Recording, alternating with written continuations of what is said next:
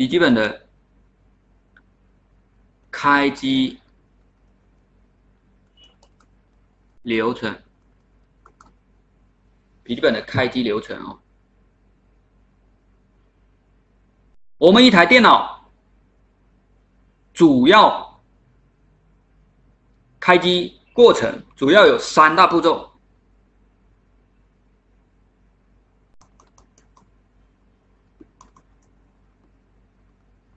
笔记本完成开机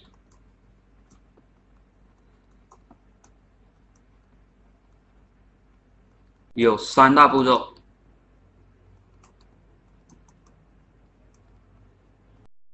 三大步骤哦。第一个是静态，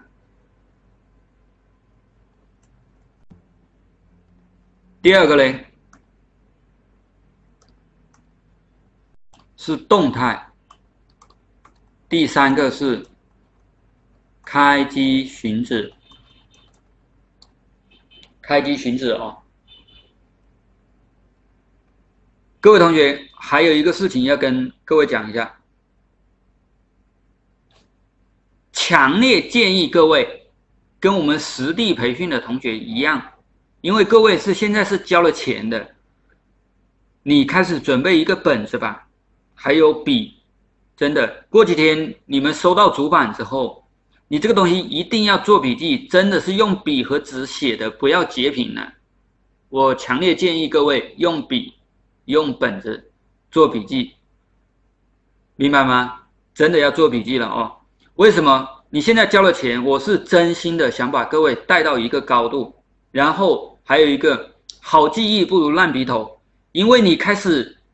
后期我想带着大家实践的，我想带着大家实践的。你要真的开始修东西的时候，你有时候你会把笔记翻出来看一下，明白哦？开始怎么测量，都要最好是有个本子，有个笔记能翻出来看一下。强烈建议各位赶紧准备一个笔和本子，真的要跟实地的同学一样做笔记了，明白哦？同意我的观点吗，各位？如果同意，赶紧回复个一。一定要买本子做笔记。对，买本子做笔记哦。我不知道今天晚上有多少人准备了笔和本子，因为后期我想带各位修的，修的过程中有一些经验的东西，有有时候就是一句话带过了。但是假如说你有个笔，有个本子。也许我还没有写到电脑上，没有这样展示出来，但是我随意的一句话，你们问到了一个很小的经验的东西，但是你就可以立马，你认为这个经验重要，立马就写在你的本子上，因为这个时候一个经验或者怎么样子，会让你怎么样呢？少走很多弯路。那些经验都是怎么样？都是通过积累的，怎么积累？就是你勤记、勤思考，明白哦？有时候你还不知道它什么原理，但是你就先把它记下来，记下来，等下等一下你按照这个东西去做了，哎，真的把这个东西给修好了，这个东西就经验做过 N 多次之后，哎，他就明白了这个道理。熟能生巧就是这么个意思。教材上的东西是我写的，但是教材上的。怎么说呢？没有我讲课讲的仔细。如果我现假如说我后期可能会编再重编教材，因为教材那个时候编的编了一呃有一两年了，有一年多了吧，也不断的加了一些东西。但是实际上我上课我是从来不按照教教材，你们可以拿去参考。我在各对讲课是有很多延伸的，因为每个人问的问题不一样，每一批学生不一样。我每天接触的板子、接触的故障又不一样，但教材编在那里就编在那里了，是会不定期的去加一些东西，但还是没有课堂上来的灵活，来的随意，会展现出、延伸出很多东西出来，就是这个意思啊。好，我就开始了啊。然后总体分为三大步骤，今天晚上我是跟各位简介一下。然后后面呢，就开始仔细仔细的讲这每一部分的工作原理，每一部分的电路。今天晚上是简介一下啊。稍等一下，我想把我讲课的这些录音呢，到时候也生成录音。如果视频延迟的话，我看是不是把录音先发给各位。我用手机录一下啊。好，我们继续。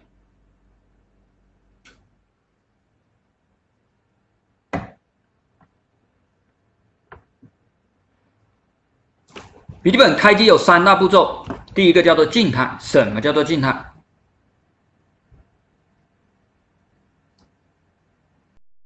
静态是什么呢？我先解释一下静态啊。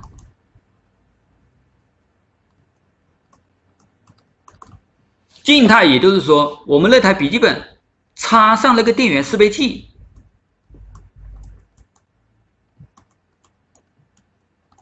笔记本插上电源适配器呀，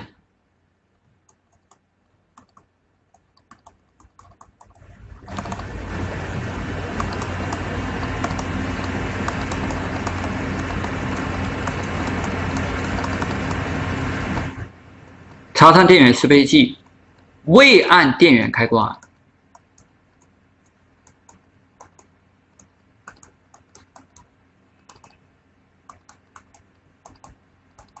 未按电源开关，主板已经有一部分电路工作，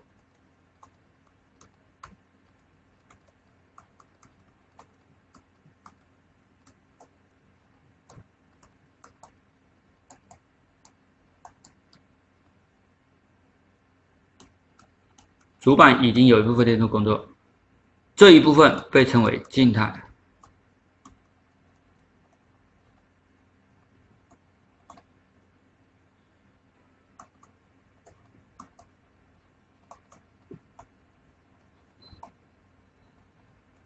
即为静态，或者又称为的什么呢？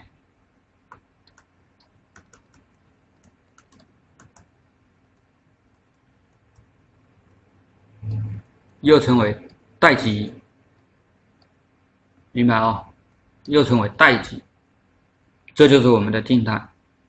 也就是说，你把那个适配器给插上去，你还没有按那个电源开关嘛？不按那个电源开关，那里面有时候你插的插过去之后，有的笔记本就会有一个小的指示灯，是不是？有个小的指示灯就亮了，那个指示灯亮就代表。虽然你没有给这个笔记本开机，但是它里面电已经是流到流流进去了，并且有一部分电路工作了，这部分电路就被称为静态。静态有三大电路，静态有三大电路，这都是我们后期要讲的哦。今天是总体介绍嘛。有三大电路，所有的主板，不管你是什么品牌，它都会有三这三大电路的。第一个，主供电产生电路，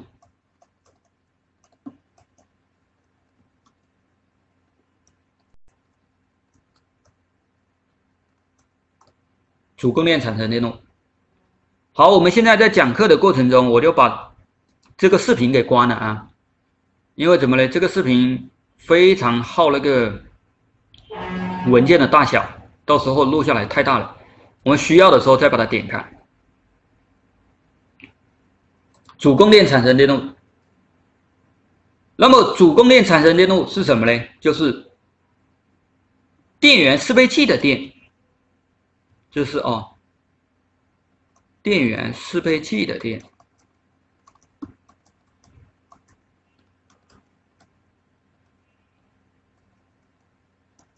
我今天总体介绍的是针对所有的机子，电源适配器的电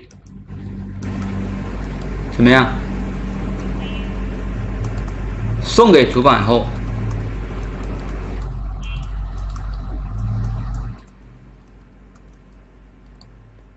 主板上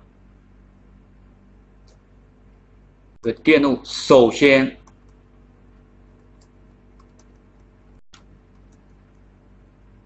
将该电压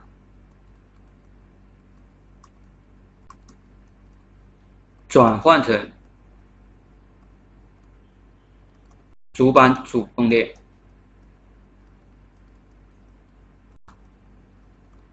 转换成主板主供电，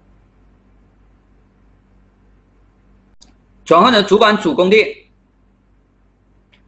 为主板后续电路提供。工作电压，提供工工作电压，这是第一个主供电产生电路。第二个还会有什么嘞？EC bias 工作条件产生电路。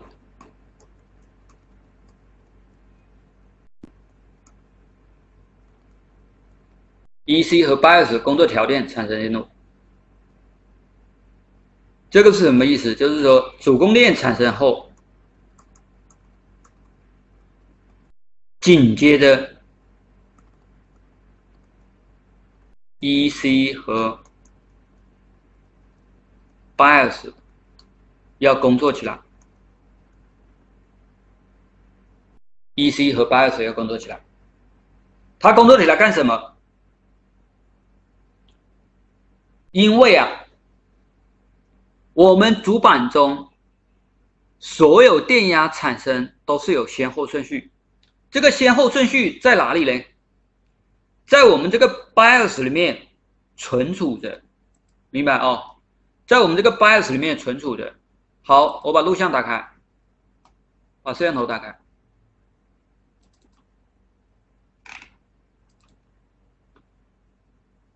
它在我们这个 BIOS 里面存储的，BIOS 是哪个东西？看到没？就是这个，这个芯片。我们上电的所有的先后顺序都在这个里面存着，明白哦？都在这个里面存着。所以我们的主板的主供电已产生，第一时间要赶紧让它工作起来。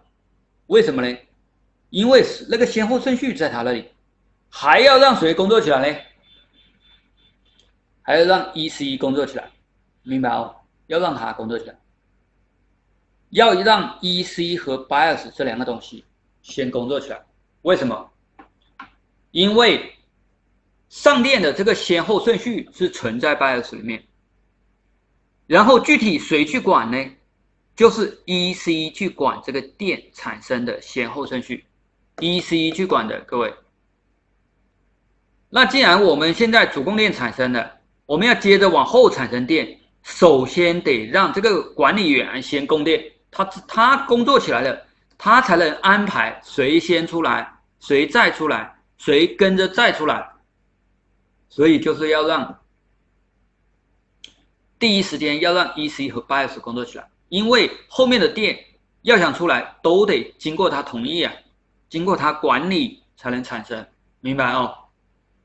这就是我们的 BIOS，背面就是那个 EC，就是 ENE 的那个东西，就是它们 ENE 的这个芯片，很多角哦，这是个电源管理芯片，看到没？很多角，对吧？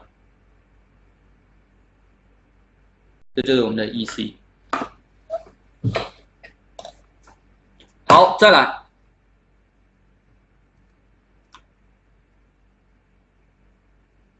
那么，又为什么要它产生起来？就是这个意思。只有 EC 和 BIOS 工作起来，才能管理电源的上电时序。EC 和八 S 工作起来，才能管理后续电压的产生。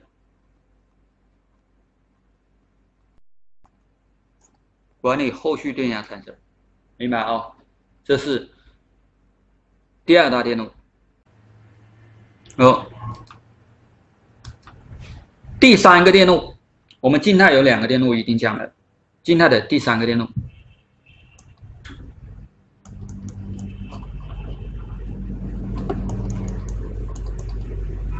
静态第三大电路。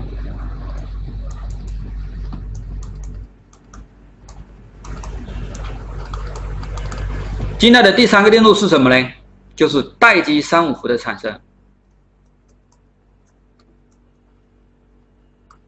待机三伏、五伏产生。待机三五伏到底是什么？就是说我们的 EC 和 BIOS 要工作了，工作起来之后，它开始管理电源。它开始管理的第一个电源就是待机的三伏和五伏。为什么要待机三五伏？因为我们等一下按开关，按开关的那个开机信息是交给谁？就告诉给谁嘞？最终是告诉给蓝桥了，明白哦？那我们待机三五伏，就是提前要让蓝桥工作起来。三五伏就是给蓝桥供电的，因为我们等一下一开机一按开关，这个开机信息就要报告给蓝桥。如果蓝桥都没睡醒，等于他自己没工作的话，你报告给他，他也不知道啊。所以我们在静态就要让他工作起来，明白哦？待机三五伏的产生是为是怎么回事？就是说，当 EC 工作起来后，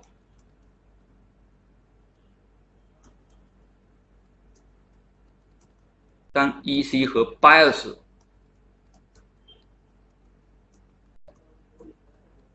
工作起来后，首先管理产生，首先管理产生什么呢？产生待机三五，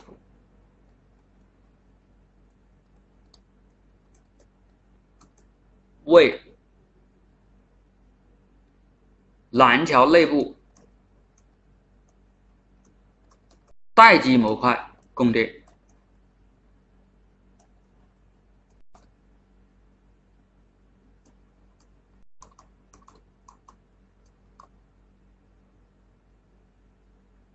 同时，也是为按开关做准备，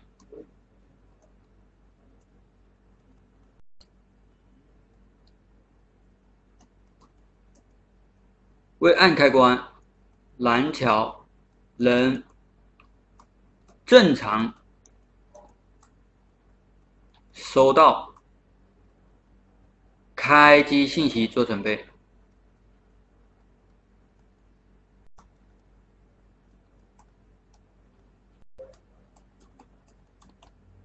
明白哦，这就是我们待机三五伏的产生，它的一个原因就是这样子。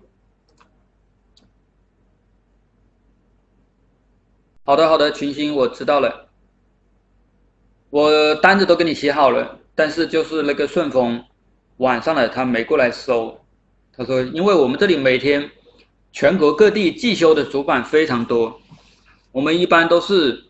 四点半五点个样子，他会来收啊，一天他会来我们这里收很多快递，学生也会发很多快递，所以他收了之后他就回去了，再叫他来收，因为都搞得很熟了，所以他就因为他每天都要来我们这里的，一般会来两趟，送件的时候他就会早上会来送一次嘛，送一次他就会带走一些，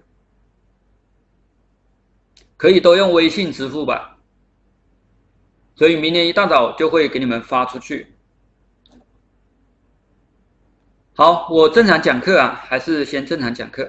那个静态我就介绍到这里。第二部分，好，你现在还没有按开关哦。你这三大电路工作了之后，它还是没有，我们的机子还没有按开关。现在可以按开关了。当静态准备好了，我们才能按开关。按开关就是什么呢？就是动态了，明白哦？按开关就属于动态，动态是什么？就是按开关之后，它这个过程是到 CPU 复位电压产生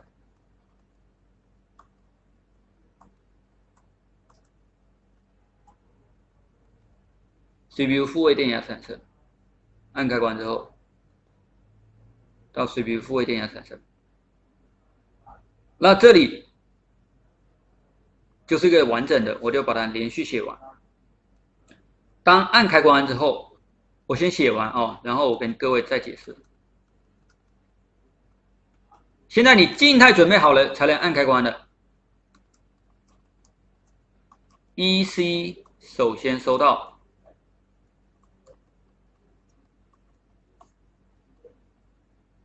开机信息，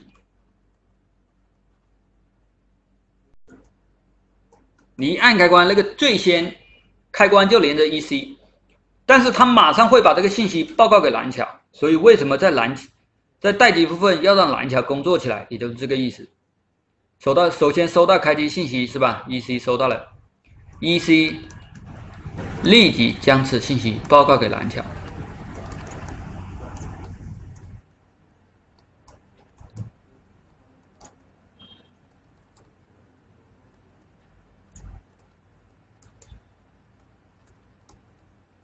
报告给蓝条。然后嘞，蓝条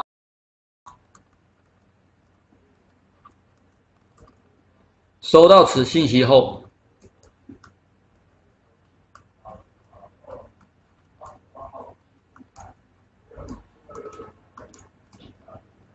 发出什么呢？sleep 信号，sleep。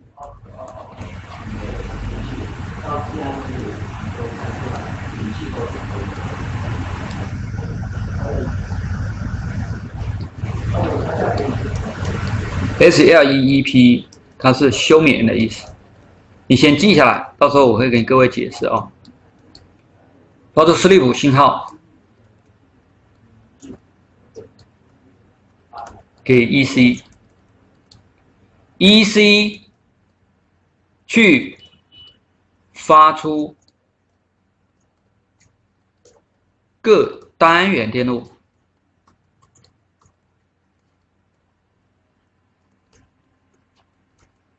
供电所需的触发信号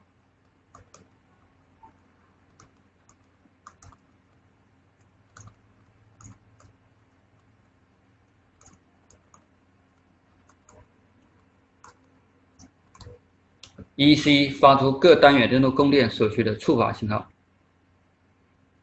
按顺序。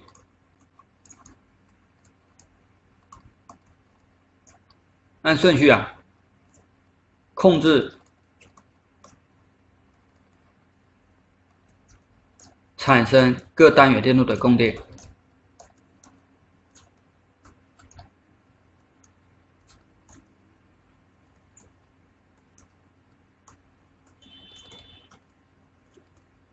如北如什么呢？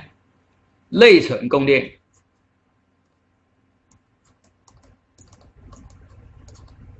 再到什么呢？北桥供电，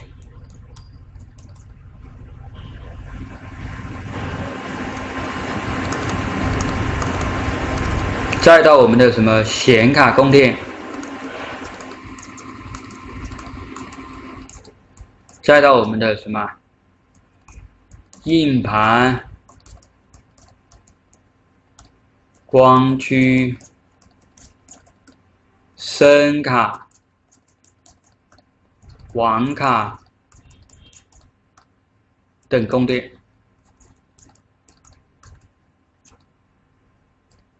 当以上供电都 OK 后，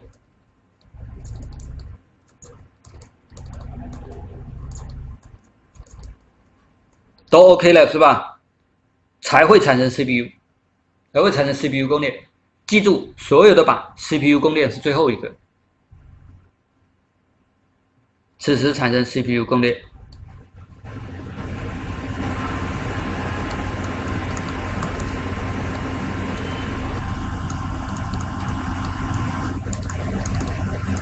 此时才产生 CPU 供电。CPU 供电的产生，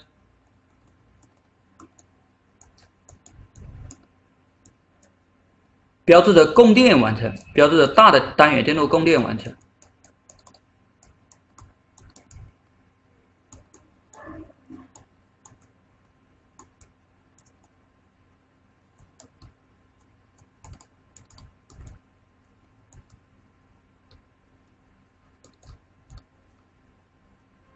接着时钟芯片开始工作，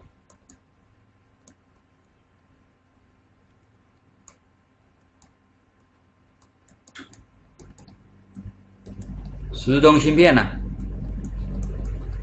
开始工作，产生 CPU 南北桥。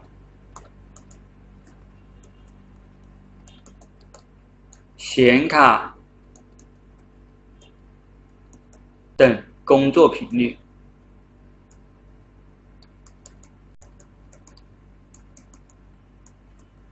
等所需的工作频率，这个工作频率产生完之后呢，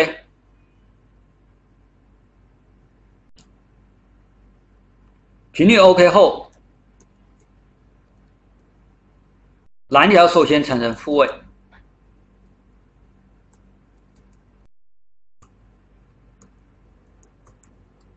送给北条，北条再产生复位送给 CPU，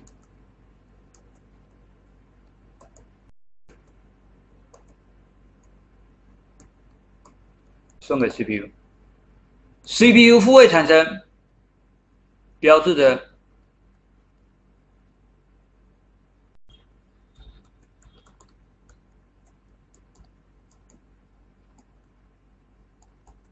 上电完成，标志这个上电就完成了。这是第二大步，动态，动态是从按开关开始，到 CPU 复位电压产生。这个 CPU 复位电压产生，就标志着我们整个主板的电都已经 OK 了。这个电产生，看到没有？这所有的电产生，我已经说了，它都是有先后顺序的。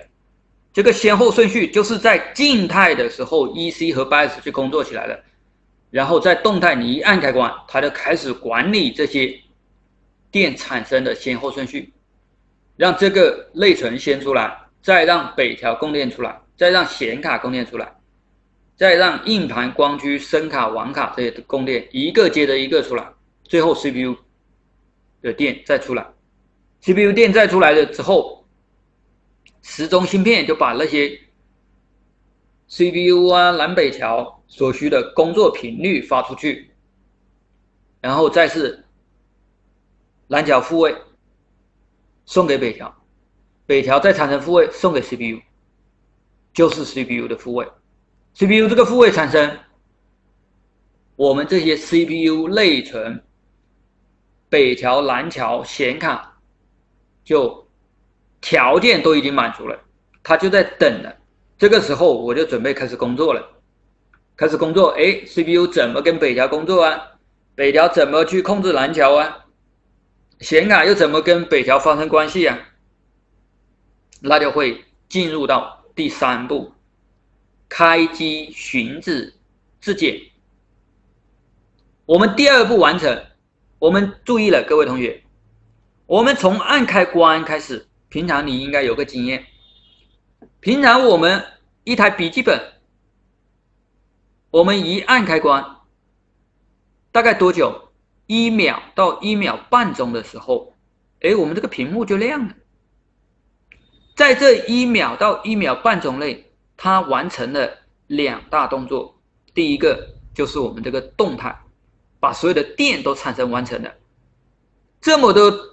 过程把这些电产生完成，有什么时钟工作，有什么复位电压产生，这只需要可能半秒多一点点时间，还有半秒多时间在干嘛呢？就是 CPU 要寻址自检，CPU 寻址自检完成了，我们这个屏幕才会亮的，明白哦？动态就是这么个意思。好，各位可以写一下，写一下之后，我们就开始介绍一下。第三大过程，开机寻址自检。写完的同学回复个一，我们再接着讲。好，我们接着继续第三步，开机寻址自检。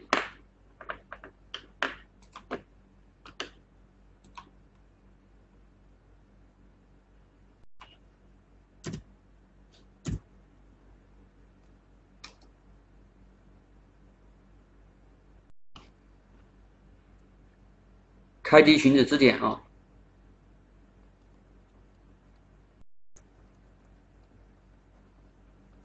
开机寻址字典是怎么回事？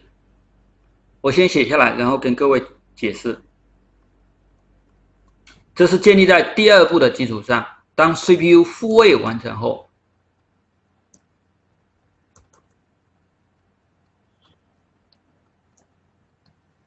，CPU 首先会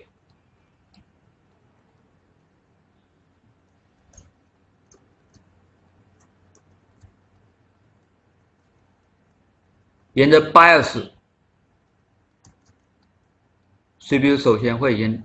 会沿着错了啊，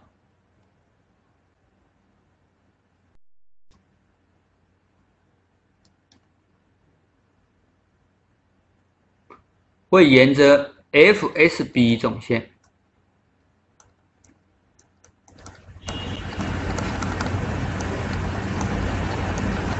到北桥，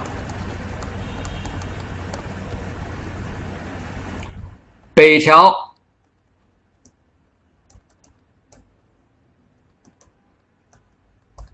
通过 DMI 总线。到蓝桥，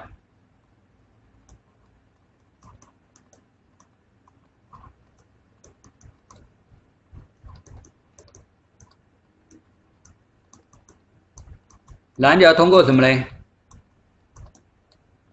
？LPC 总线。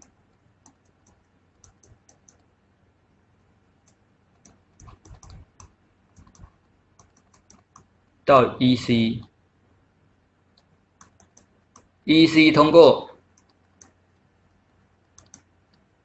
X bus 总线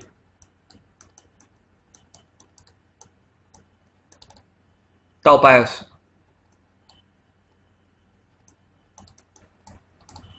去读取它为什么这样一路下来到 BIOS 呢？它第一个动作就是这样子，去读取。厂家写在 BIOS 里面的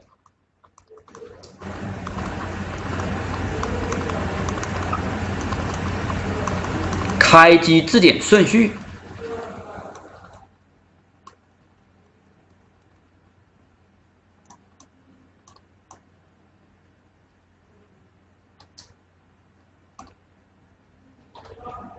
每一个厂家 CPU 字典。每一个硬件它都是有个先后顺序的，这个先后顺序啊都被厂家已经写在刚才我们展示的那个 BIOS 芯片里面去了。上电的先后顺序，那个电压产生的先后顺序也在 BIOS 里面。电产生完了，CPU 要到 BIOS 里面去读这个字典的先后顺序。你叫我先检查哪个，我就先检查哪个；再检查哪个，我就再检查哪个。那么这个质检的先后顺序。是 CPU 一工作起来，第一时间就要跑到 BIOS 里面去读到的。他读到这个先后顺序了，他才能开始自检，明白哦 c p u 首先复位完成，他就跑到 BIOS 里面去读，读到这个先后顺序，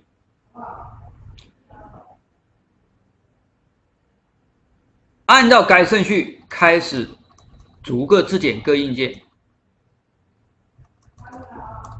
按照该顺序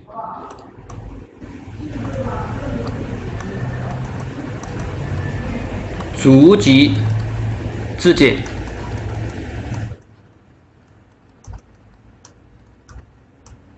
各硬件，明白哦？逐级质检各硬件。如果 CPU 能够到达 BIOS，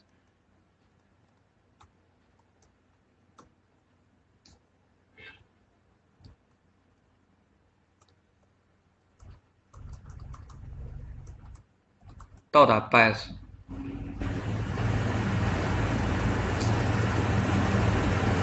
此时诊断卡的代码。我们维修有个诊断卡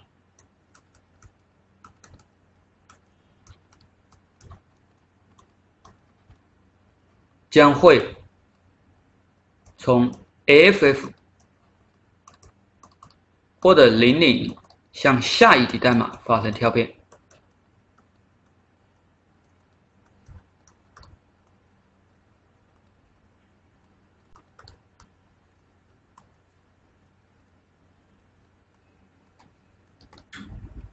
如果 CPU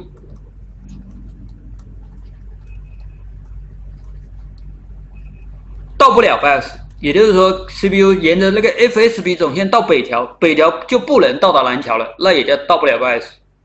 只要 CPU 这到 BIOS 这条通路当中任意一个出了问题，都将导致到不了 BIOS。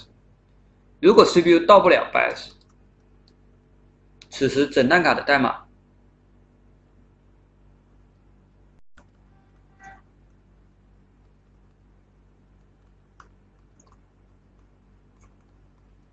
将会显示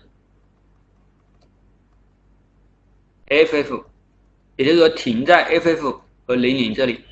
如果它没问题，能够到达 BIOS，并且能够读到 BIOS，它就向下一级代码开始开始跳变了。如果读不到，它就是在起始代码 FF 零零这里。当正常，当读到代码后，读到后。CPU 首先会质检，它有顺序的嘛？一般大的顺序是质检内存，内存过了之后，内存到哪里了呢？就到我们的过了内存就到显卡，过了显卡就到我们的蓝桥。过了蓝桥就到我们的什么声卡、网卡，再过来到我们的 EC，再到 BIOS。CPU 每质检一个硬件，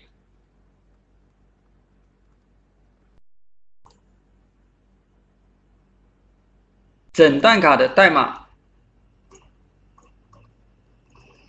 整段卡都会有相应的代码发生跳变，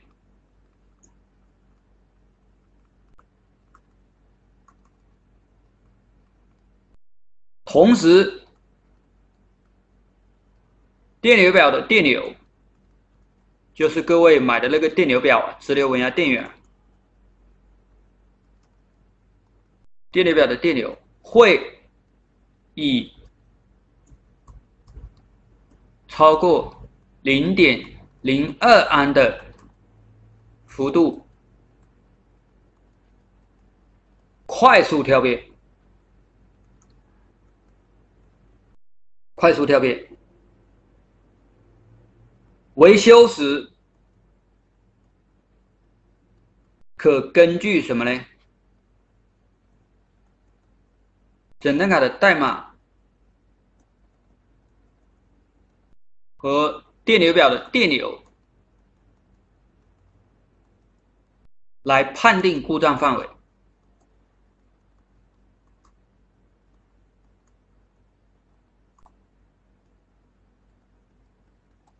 当质点全部完成后，BIOS 会引导啊。从某设备，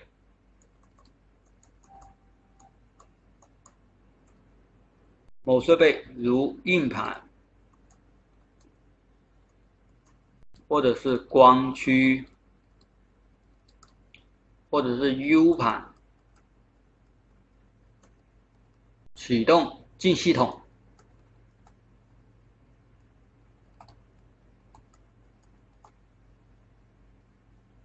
此时主板完成开机。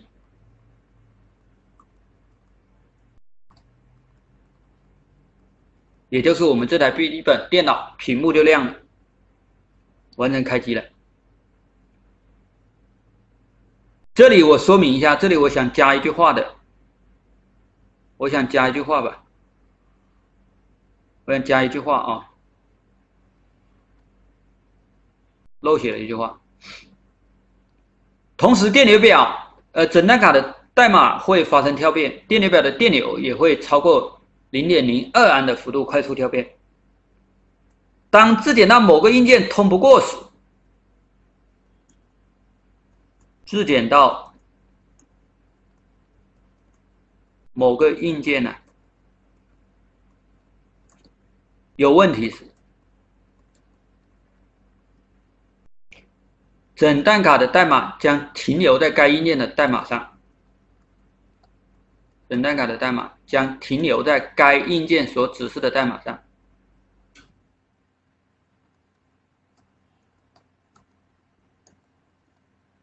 停留在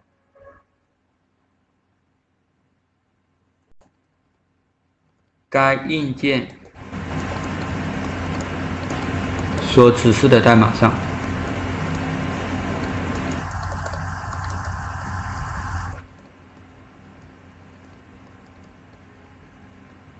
同时，电流也停止。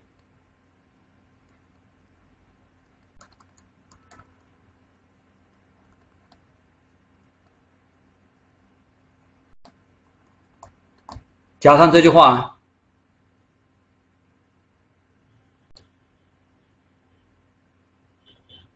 维修时呢再可根据，不然到时候你看不懂。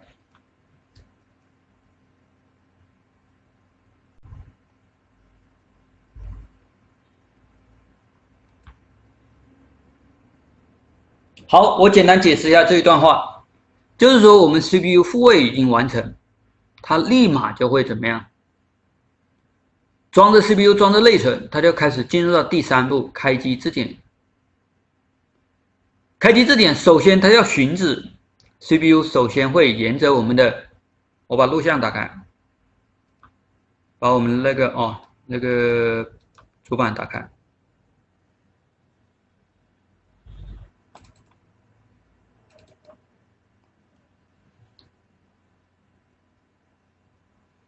CPU 首先第一个动作它是干嘛嘞？CPU 啊，CPU 这里首先会到北桥，它到北桥就干嘛嘞？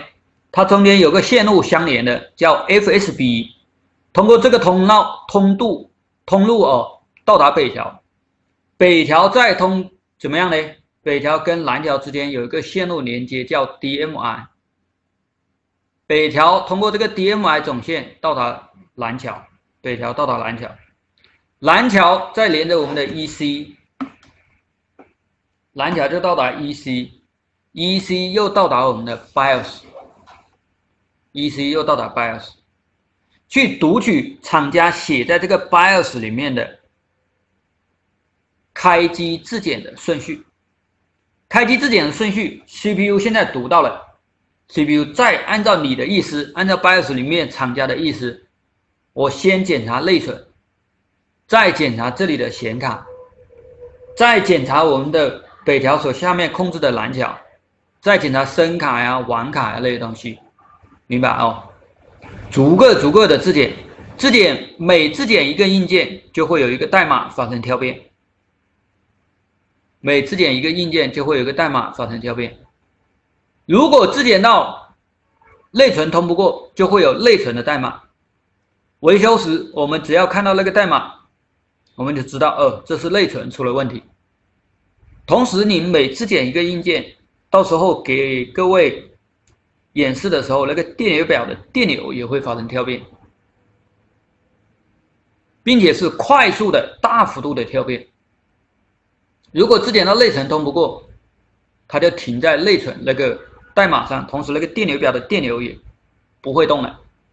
我们维修的时候可以根据那个代码，根据电流跳变的次数和幅度来判定是哪里出了问题。如果一切正常呢，质检完成，这个屏幕也就亮了。此时如果你插的是硬盘，那就从读硬盘进系统。那么这个开机的过程，CPU 质检、寻址质检的这个过程，也只需要半秒钟，它就搞定了。因为你一按开关，差不多一秒钟左右，你这个屏幕就怎么样，就亮了嘛，是不是啊？所以它要完成动态，还有开机寻址自检，明白哦？它要完成开机寻址自检，明白我的意思？所以这个速度是很快的。那么今晚呢，我是把这三个过程介绍了一下，各位心里只需要有一个谱子。这个谱子就是什么？我们现在刚开始是先要从静态开始讲起，就是那个电怎么进去的开始讲起，后期再慢慢讲到动态，每一个电压的产生，时钟工作，复位电压产生。再来讲开机寻址字典，开机寻址字典讲完了，屏幕亮了，我们再来讲功能课。哎，USB 怎么用呢？声卡有没有声音呢？网卡能不能上网呢？就是这样一个过程。课程就是根据这个电脑的开机的过程，我们来讲的。现在你明白了什么时候屏幕开始亮？那是要等到我们的什么？等到开机寻址质检完成了，我们这个屏幕才亮的。所以有的客人经常拿电脑拿到我们这里来修，他就问：“哎，你这个我这个电脑屏幕不亮了，是哪里的问题？你这个屏幕不亮，现在我给各位解释了，我们那个屏幕要亮，是不是要走过第？”走过三个过程，到了第三步它才开始亮的。所以一个外行来说，他说屏幕不亮，屏幕不亮，那修哪里？是不是屏坏了？能导致屏幕不亮的范围太大了。如果你的电在静态送进去就有问题，主供电都不能产生，是不是屏幕就不亮？是吧？屏幕还是肯定不亮。到哪里才亮？到开机寻址质检，质检过了显卡才亮的，明白吗？各位，如果你内存内存的供电没出来，也就是动态内存的电都没有，根本就不会到达 CPU 寻址质检，屏幕能不能亮呢？依然不能亮，CPU 复位没产生还是不亮，内存没插好。也不亮，那质检内存就质检不过去。显卡有问题，屏幕不亮；CPU 没插好，CPU 根本就不能去读 BIOS，屏幕不亮。所以说这个屏幕不亮啊，那是非常大的一个范围。但是我们真正修的时候，我们就要根据这个三个过程来修。客人给你一台机子，说屏幕不亮，那我们一看，现在大的方向是要断定它是处于静态。还是处于动态，还是处于开机寻址这个部分，明白哦？各位先还是要听我讲哦。我刚才讲的，各位有没有明白？就是说，我们拿到一个故障，首先要做的是看我们这个故障处于这三个阶段当中的哪一个阶段，我们再去细查。哎，比如说。CPU 复位都没出来，那我根本想都不用想，就不去查什么开机寻址字典，不用考虑了。CPU 复位没出来，那我得看一下那些供电都有没有，时钟电路工作了没有，就是产生那些工作频率有没有，是不是？大的方向是按开关得先有反应吧，再看一下 CPU 复位，哎又没有，那就是按开关之后到 CPU 复位这一段当中。到底是出到了哪个电？出到了内存的电，还是出到了显卡的电？按这个顺序来查，明白我的意思，各位同学。好，我们今晚就先到这里。各位有什么问题可以短暂的交流几分钟。然后呢，先听我说，我明天晚上想一开课的时候，我就准备一个电流表，准备一个万用表，我想把今晚的过程。通过我们那个高清摄像头演示给大家看一下，明白啊？演示给大家看一下，看静态有没有待机三五伏，看动态会不会产生 CPU 复位，看开机寻址又是怎么样一个过程？明白？好，明天下午看情况，如果有交流，我就立马跟大家有空交流，我就立马交流。我是说，呃，这个动手实践的课程，我想拉到明天晚上比较正式一点，大家都有空的时候一起交流。各位认为如何？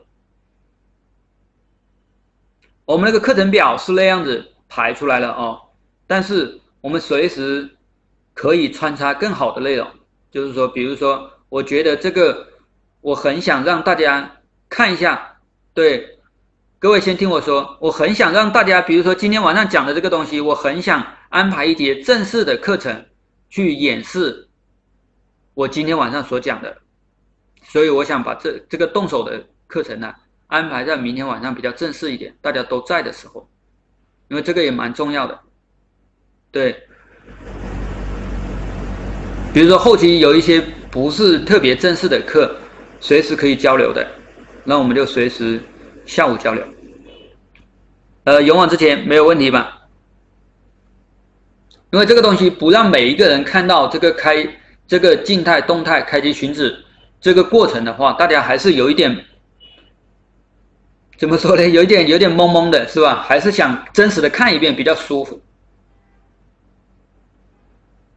呃，明天我会带大家量。好，今晚就先到这里了。感谢各位参与了 VIP 班的第一节课。后期我们就这样讲啊。哎，一般周六周日是没有课的，大部分的时间应该是安排在星期一跟星期五。星期四是没课的，星期四是，嗯，实地培训这边全体休息。我也想完整的休一个整天，就是这样子。所以星期四我一般是会休息啊，我我想陪一下我的家人，陪一下小孩。还有各位问问题，问问题，呃，看明后天我我们那个老师就回来了，到时候我想给大家商量一下。嗯，如果能尽量集中的问问题比较好。有的人半夜十二点还在跟我问问题，还在 QQ 里面问问题。有的时候我刚一睡，然后手机叮咚响一下，我要拿出来看一下。有时候是叮咚叮咚叮咚连续响好几下，我说这个人肯定很急嘛，我把手机拿起来。这个而刚刚睡下去，或者又有几个人问问个不痛不痒的问题，这种的还是有点。影响我休息了啊！一般大家尽量集中在课堂上，或者是说白天的时间问。我后面会白天会很有时间的，我基本上随时都可以回答大家的问题。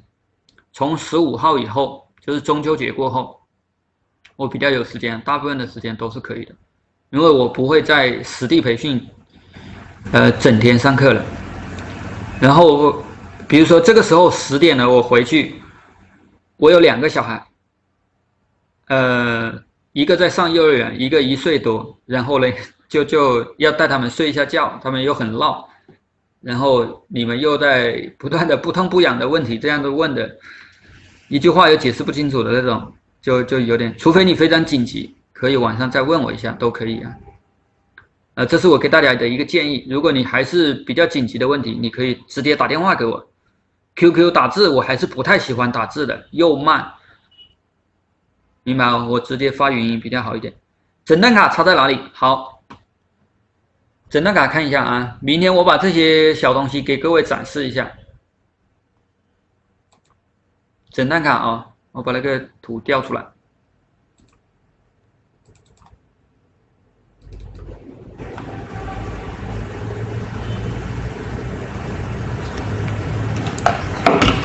各位，你们拿到板子了就非常好了。诊断卡插在这个地方，看到没？这个地方，就是这个地方原本是插什么嘞？插 WiFi 模块，插我们的内置无线局域网卡。那么你修机子的时候，可以把内置无线局域网卡给拔下来，然后插个诊断卡插在这个上面，明白哦？就可以监测我们这个电脑显示的是什么代码。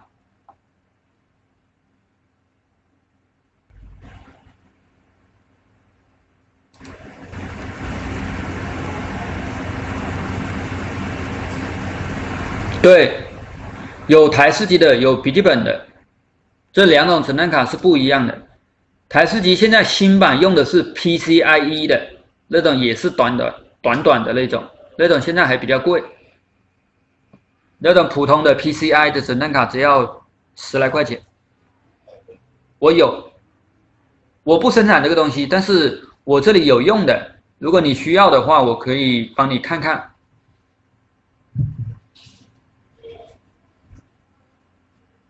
哎，有一种的那种，那种也可以。